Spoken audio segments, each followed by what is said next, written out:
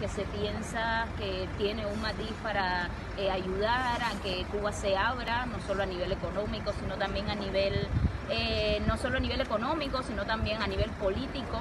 Estos acuerdos realmente tienen un fin comercial, es decir, España es uno de los socios más importantes que tiene Cuba y por eso estas visitas, por eso estos tratos preferenciales con el gobierno cubano. Y eso lo estamos denunciando porque es una hipocresía.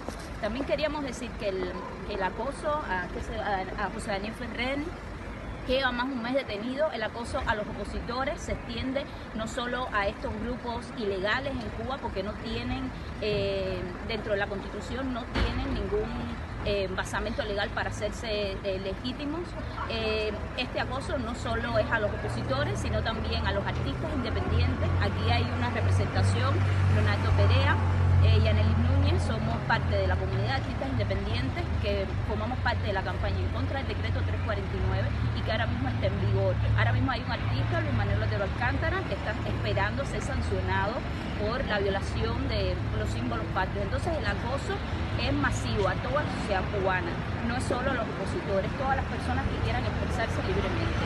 Y para mí es una gran hipocresía que Europa, que se dice ser el dueño de los eh, derechos humanos o el que defiende con mayor em, fuerza este tema, vaya y negocie con Cuba sin reunirse siquiera con la oposición. En Cuba hay una oposición, en Cuba hay una disidencia, que todo el mundo la conoce. Entonces es una falta de respeto para mí que vayan los reyes o vaya un presidente de algún país y se reúna solo con el gobierno y no con la oposición.